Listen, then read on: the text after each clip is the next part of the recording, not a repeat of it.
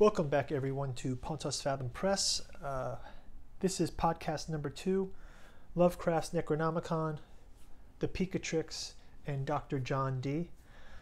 Uh, I want to jump into the Necronomicon sort of as a, uh, at first as an imaginary test, text, but then as sort of as it gets positioned in the mythos, how it kind of overlaps with our topic last week, which was notebooks, and how there's that overlap gray area between dreams and imagination and even remote viewing, and uh, and how Lovecraft, in projecting this book, sort of has created a monster here. Like this is really, uh, it's so it's so iconic and it's uh, it's uh, it's such a meme. Let's call it even of the evil book, right?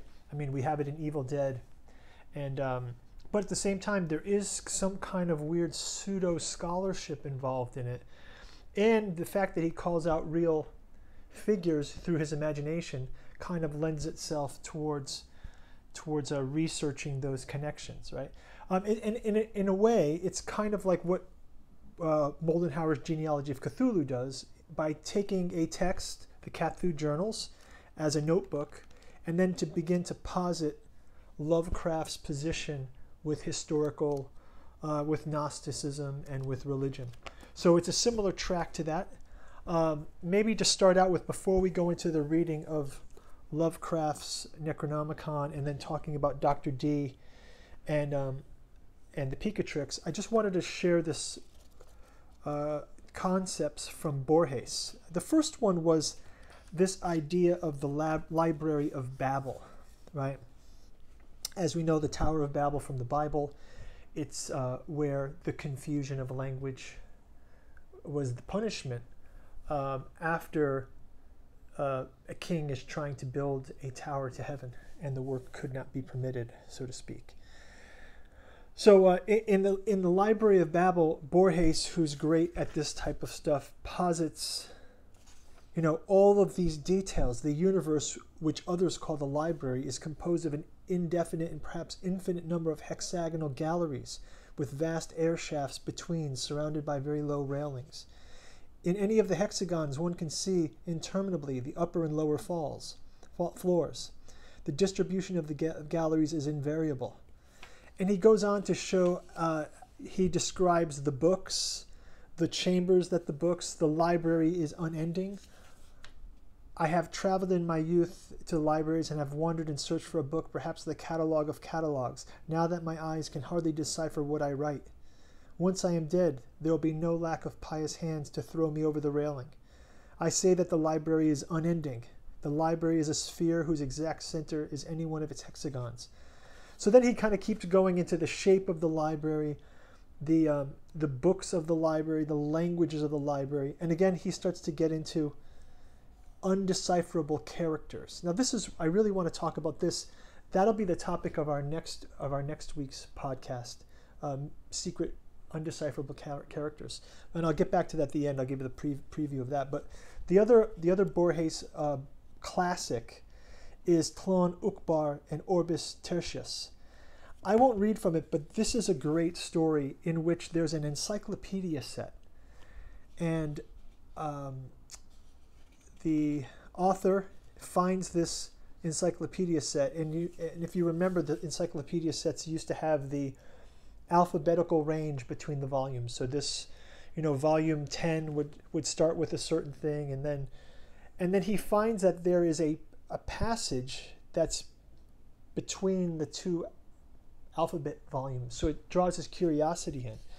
And there ends up being all these entries in the in the book about a land that nobody knows about. And yet there's all these details in that. And then he starts to research it. And it's one of those things that the more you start to research into this odd occurrence, the more you find that there's been some is is reality shifted? Is this book from some other dimension? And he throws doubt on all that we've known, right? So this kind of ties back to our topic last week.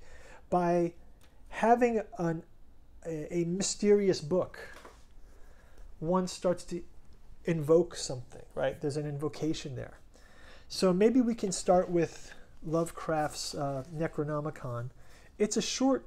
Um, uh, there's a few references to the Necronomicon throughout Lovecraft's work, but I wanted to. Um, I wanted to uh, just take a look at the actual text of the Necronomicon. There is a great book. Um, Uh, I'll talk about that later because it's, it's, it's footnoted in the introduction to the Picatrix. So let's just go through this short reading of the Necronomicon, the history of the Necronomicon. This story is often considered an essay, but its content is entirely fictitious, and it in, indeed it was meant to be a hoax. It can be regarded as a work of fiction. Lovecraft evidently wrote it in 1927, as he told Clark Ashton Smith that he was drawing up some data on the celebrated and unmentionable Necronomicon of the mad Arab Abdul Alhazred. Now, I've actually got ordered up the uh, Lovecraft letters on the way, so those will be interesting to dig into. I've never read his letters, other than how I've seen them referenced in the uh, in other in other books. Lovecraft added in one sentence referring to Dr. John Dee's translation of the Necronomicon. So this is interesting, right? He calls out Dr. John Dee by name, okay? Uh, original title Al Azif. In his last years, Alhazred dwelt in Damascus, where the Necronomicon Al Azif was written, and of his final death or dis- disappearance in AD 738. Um, and then he goes on to say, in AD 950, the Azif, which had gained considerable though surreptitious circulation among the philosophers of the age, was secretly translated into Greek by Theodorus Philetas of Constantinople under the title Necronomicon. For a century, it impelled certain experimenters to terrible attempts, when it was suppressed and burnt by the patriarch Michael. After this, it was only heard of uh, furtively, but in 1228, Olaus Wormius made a Latin translation in the late Middle Ages, and the Latin text was printed twice once in 15th century black letter, evidently in Germany, and once in the 17th century. So again, like Borges, he kind of pads all these details. This is like that trick of writers, even from Poe uh, and uh, Edgar Rice Burroughs, right? You have a or, or, Bram Stoker's Dracula, right? You're doing this writing, which is you, you you add all these details to make it seem like something something, right? And yet at the same time, he comes in here and says. Uh, Wormius's time, preferably note the Greek copy was printed in Italy between 1500 and 1550 and has been reported since the burning of a certain Salem man's library in 1692. Now, it existed in Salem where there's witch trials, so it's all this kind of inferences, right?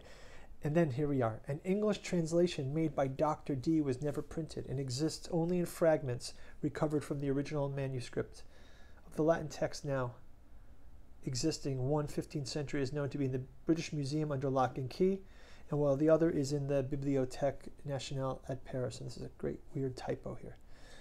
A 17th century edition the Widener Library at Harvard and at the Library of Miskatonic University in Arkham. And of course at the Library of Buenos Aires. Numerous other uh, copies exist secretly. Still, a vaguer rumor credits the preservation of the 16th century Greek text in the Salem family of Pickman. But if this is so preserved, it vanished with the artist R.U. Pickman, who disappeared in 1926. The book is rigidly suppressed by the authorities of most countries and by all branches of organized ecclesiasticism. Reading leads to terrible consequences. It was from rumors of this book, of which relatively few of the general public know, that R.W. Chambers is said to have derived the idea of his early novel, The King in Yellow. So this is great also, where Lovecraft is calling out uh, his fan fanboy status of uh, Chambers, King in Yellow, and um, and uh, and again another book, a play that is non-existent. Right in the book in the in the in the King in Yellow, we have uh, the idea of a play that is non-existent. Camilla, you should ask. Stranger indeed, Casilda, time it's indeed it's time. We have all laid aside our disguise but you. Stranger, I ne'er wear no mask. Camilla, terrified, aside to Casilda. No mask? No mask. The King in Yellow, Act 1, Scene 2. Wow. Okay, so uh, call out from uh H.P. Uh, Lovecraft uh, does a shout out to R.W. Chambers and The King in Yellow here. And uh, but he also, interestingly, he calls out Dr. Dee, right? So now Dr. Dee, we know, is quite a character. Uh, Dr. Dee uh, was uh, a man of many ta- talents. He was a true Renaissance man in the court of Queen Elizabeth. Uh, not only was he entrusted with um, political and military type secrets, but he was also uh, an astrologer, alchemist, and a scryer. He had a black stone that he would scry and read from that. And that's where um, Dee developed the angelic script, right? So the, the story goes that Dr. Dee and uh, Edward Kelly would uh, look into this polished obsidian stone and as they scried into the stone, they would ask the angels, and they had invocations. This book has some of those invocations. Like this is a notebook also. Uh, this John, this one of these books here is Source Books of Enochian Magic by Joseph Peterson. You can see that John Dee would basically ask the angels as he scried the mirror, please show me some something, and that's how he he slowly pieced together um, these images and when the images came, he would then translate the images into letters, and that's how he pieced together Enochian script. So it's it's quite uh, it's quite an odd task for a, person to be doing, right? Uh, and Dr. Dee was a very smart man, so not sure what he was up to, but here you see some of these these texts. Uh, and again, I'm going to talk about uh, secret languages revealed in texts or in visions because Jung even has an incident, and we're going to talk about that, that next week. In the Black Books, there's an incident where Jung has a dream of some strange calligraphy. Uh, so we'll, we'll, go there next week. But uh, so, interestingly enough, though, the there was a famous book in Dr. John Dee's time that was an astrological book. And that was known as the Picatrix. And here is a great hardcover edition by uh, John Michael Greer and Christopher Warnock. Um, this is a an edition of the first an early astrological work um, dating back to um, the same times, the 1200s even, right? So, and and this is the book from which most most modern astrology kind of has its roots roots in um, from the Picatrix, which is a real throwback to a time that it's very different than um, astrology that we think of because it was all talismanic. It's a talismanic magic in which when one wants to do something or have some effect, there's a number of different figures, colors of garments, sacrifices, um, things to burn, uh, objects to put together to build this talisman. And if one does it when the stars are right, and this is interesting, right? When the stars are right, meaning during a certain transition of planets, a certain transit of planets, during a certain sign, the, the, the talisman can be made. So the, the, the Picatrix magic was all about talismanic magic and it was tied to when the stars were right. And I think that's a great Lovecraft crossover. Now, did Lovecraft know about this? Not sure. I mean, I, I can't wait to go into Lovecraft's letters, but um, I'll have to do some research on, on, into that. But one thing I know is I do know that Lovecraft thought um, astrology was like a humbug or something like this, right? He just thought it was nonsense as a scientific thinker. But I think, unbeknownst to Lovecraft, could it be that he was projecting something? Did he read about it in a library? I mean, was it just something that he uh, used as a device? Uh, interesting, right? Uh, the introduction to this Picatrix has a small two page section here called The Picatrix and the Necronomicon that I'd like to read a little bit from because I think this is interesting. So, so again, is there some possibility that it's the Picatrix. That's the book. That was the Necronomicon. Um, it could be. Uh, I um, I want to go through what the authors of this book have to say about it. So, the importance of the wizard as a professional figure itself reflected early in literature and folklore. In such figures as Merlin the Mage, who played a Merlin-esque role as a magical instructor to Alexander the Great. Oh, uh, sorry, Nectanebus, who played a Merlin-esque role as a magical instructor to Alexander the Great in the medieval Alexander legends. The concept of the magical book, containing all the occult secrets of the universe, similarly, similarly found its way into the popular culture of the age. Just as wizards passed in turn from medieval legend to modern fantasy fiction, in turn, the archetype of the secret book of occult lore found a new home in modern literature and produced a remarkable parallel to Picatrix itself. In the 1923 short story The Hound, pulp author H.P. Lovecraft first mentioned an imaginary tome of darkest magic titled the Necronomicon, written by the equally fictional Arab wizard Abdul Alhazred. The Necronomicon appeared frequently in Lovecraft's story from then on, along with equally imaginary tomes such as the Pnakotic manuscripts and evolved at the core text of an imaginary religion of evil. The cult of the Great Older Ones, terrifying beings from deep space who had ruled the earth in the prehistoric past and waited until the stars were right, again, to resume their dominion.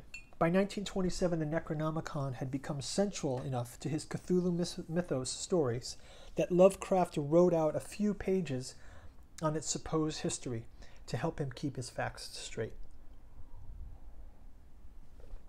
and this is the part that we just read. I won't have to go into all of this. It does says he uh, that Theodorus Philetas in 950 retitled it Necronomicon.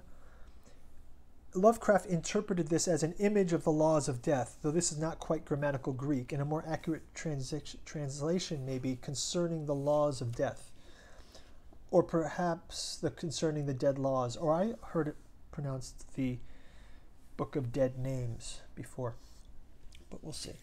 So it's sort of a necromancy text if it's about dead names. The laws of the dead could be necromantic also, right? So in 1228, the Danish scholar Olaus Wormus supposedly translated into Latin, and the famous British occultist John Dee, Elizabeth I's court astrologer, made a manuscript English translation some centuries later. From that point on, the history discusses how different copies got to their places where they turned up in Lovecraft's stories which we read in the when we read that.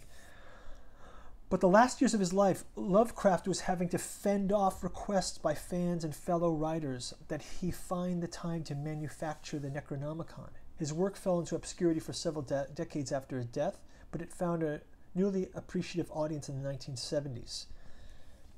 Uh, one uh, Necronomicon attempt, we'll call it, written by a group of New York occultists under the pen name Simon, appeared as a mass market paperback in early 1980 and became wildly popular among those members of the occult community.